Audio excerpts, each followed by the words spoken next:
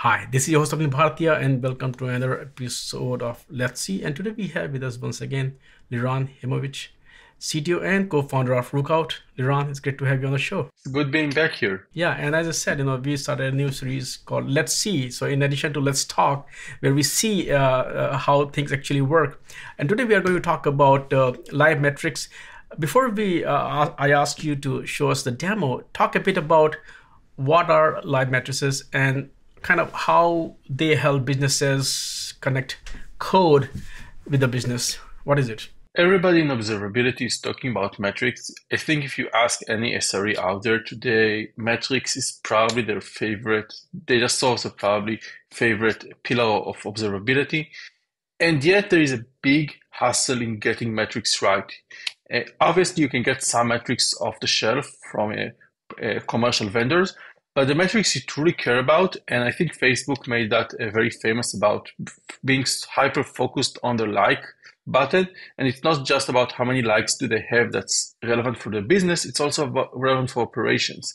And so if you want to really focus on those likes, on whatever matters for your business, you have to do a lot of work to get those metrics in. You have to code them in, you have to test them, you have to monitor them over time, you have to experiment, add them, remove them and so on and so forth.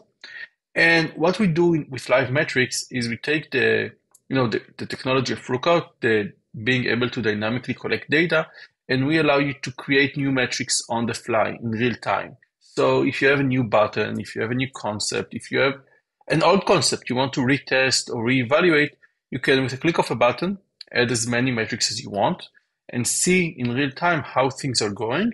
And then you can even take that data, you can slice and dice it, you can export it to your favorite observability tools.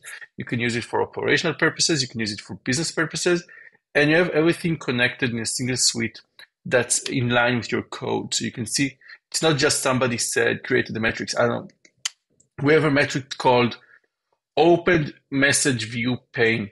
Literally, it's a metric from our system. Now, do you know what that means? I don't. I would have to look, go to the code and try to look it up and see what it means.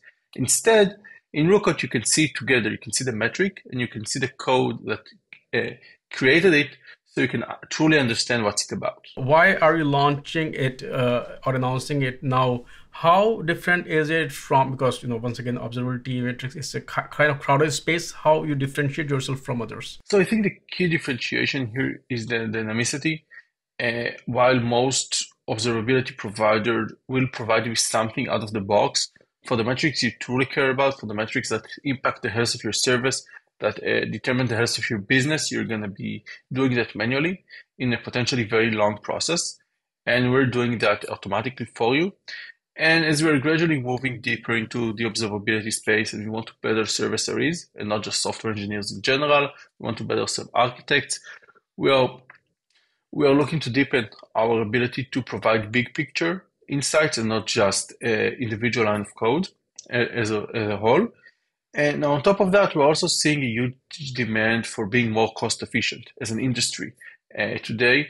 And the way cost metrics work today is that you have to recreate, you have to create everything up front. You have to pay for everything up front. And at the end of the day, you often find that just like with logs, you might not be using 90% of your metrics even though you're paying for them. And that creates a huge FOMO because you know that when you're going to need it, you won't be able to add it.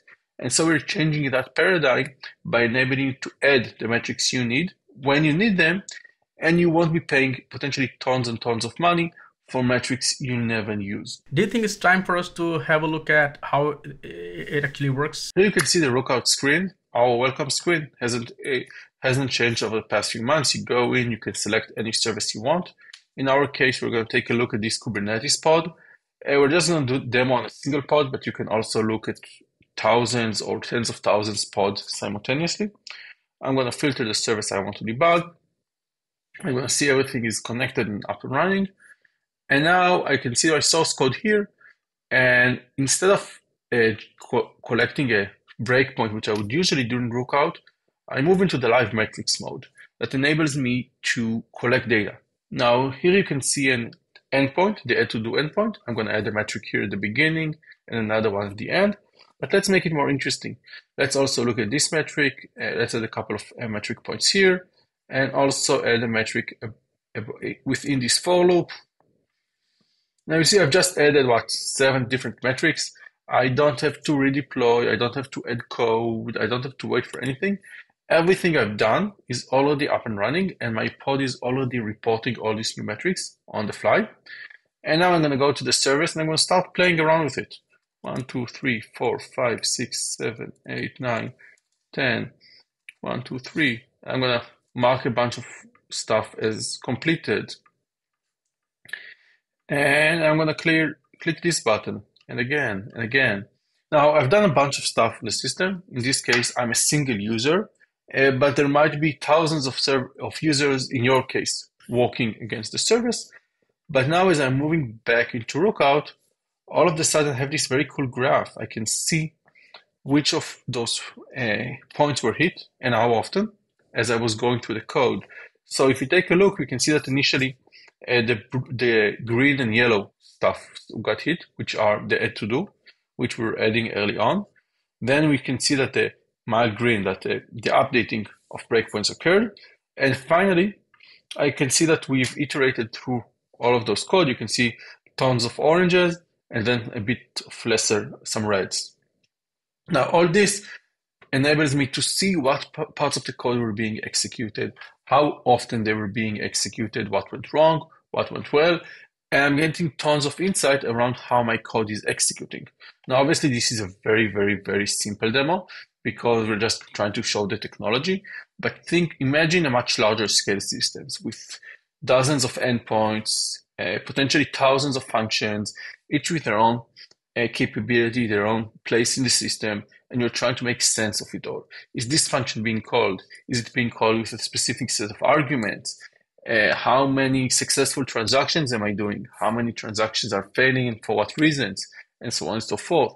There are endless questions you could be asking yourselves, whether you're asking them long term, whether you're asking them as you're troubleshooting a production incident, investigating a bug, designing a new feature.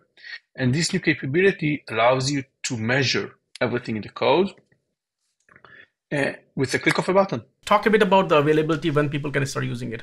Live Metrics is currently available in early access. So if you're a customer or a prospect, just reach out to your account manager for access. And if you're not, then please become a customer of Rookout. We love you guys. Liran, thank you so much for taking time out today to not only explain live metrics, but also show us a demo, uh, it, how it actually works. Uh, and uh, as usual, I would love to have you back on the show. Thank you. Thank you. It's been a pleasure.